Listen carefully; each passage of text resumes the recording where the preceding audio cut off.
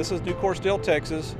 We manufacture rebar, which is reinforcing bar that goes in concrete to make structures and roads. In addition, we make angles, rounds, channels, and flats for other fabrication activities. We drop 100, anywhere from 105 to 115 tons of scrap in there at one time. Well, all the gas and smoke goes out through the arm going down the side, down to a dropout chamber box, which then what don't stay in the dropout chamber goes to the bag house out there. The team found uh, fan blades uh, that, that are used to draw the air out of the operation needed to be redesigned. The fan blades were having some wear on them. We knew we were going to either have to repair them or replace them. So we were able to find these new higher efficiency fan blades to give us more efficiency uh, in the same airflow.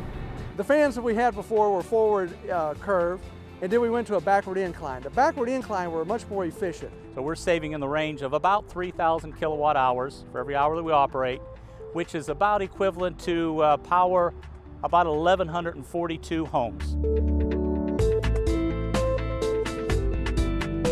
We did a project uh, later that same year on the melt shop, non-contact coolant tower.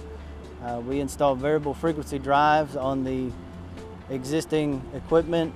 The variable frequency drive, what it does is it, it meters just the right amount of energy to give us the cooling that we need to cool the water efficiently instead of having a big spike, you know, where you go from off to on. So it's saving energy as well as lowering the evaporation rate. And last year we were able to uh, measure at least 1 million gallons have been saved uh, using this new system. Being environmentally conscious is absolutely crucial at Nucor, here in Jewett and throughout the corporation.